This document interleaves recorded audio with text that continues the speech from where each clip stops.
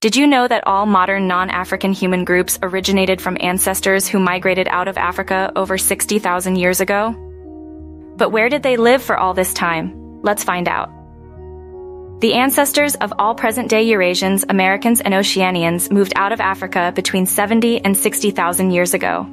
After reaching Eurasia, these early settlers idled for some millennia as a homogeneous population, before expanding their range across the whole continent and beyond.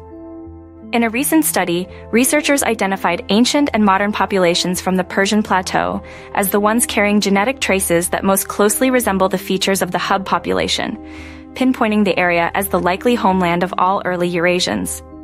This discovery opens new doors for archaeological and paleoanthropological research. With this work, researchers found a home to 20,000 years of shared history between Europeans, East Asians, Native Americans, and Oceanians.